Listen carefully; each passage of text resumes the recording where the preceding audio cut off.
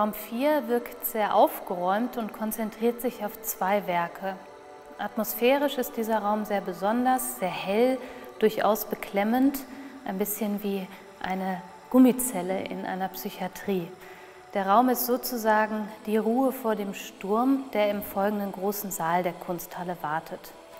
Klaus Richter zeigt seine Arbeit vor AM, also 4 Uhr nachts. Wir sehen einen Schlaflosen mit maskenhaftem Gesicht, der in seinem Bett liegt, auf seinen Laptop starrt und auf den ersehnten Schlaf wartet. Seine Augen sind weit aufgerissen, der erhoffte Schlaf scheint also noch in weiter Ferne. Diese Situation kennt wohl jeder von uns. Man wacht nachts auf und kann nicht wieder einschlafen. Jeder hat dann so seinen eigenen Trick. Der eine liest, der andere schaut fern, surft im Internet oder checkt seine E-Mails oder trinkt vielleicht auch einfach ein Glas Milch. Klaus Richters Protagonist schaut auf seinem Laptop einem plätschernden Flusslauf zu, ein ausgesprochen einschläferndes Video, unterlegt durch Meditationsmusik.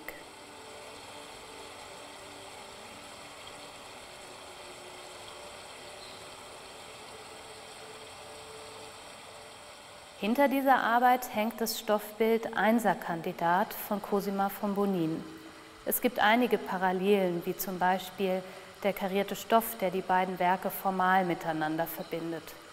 Vor allem scheint der Einserkandidat aber auch so etwas wie das Gegenstück zu Klaus Richters Schlaflosem zu sein. Während dieser versucht runterzufahren, schraubt sich der Einserkandidat gerade richtig rauf und scheint vor Ärger in die Luft zu gehen. Cosima von Bonin zitiert hier die Silhouette der Comicfigur Daffy Duck, Gegenspieler von Bugs Bunny und bekannt für seine lispelnde und feuchte Aussprache. Ein Antiheld, den man gerade deshalb ins Herz schließt, weil er das Leben immer gegen sich hat.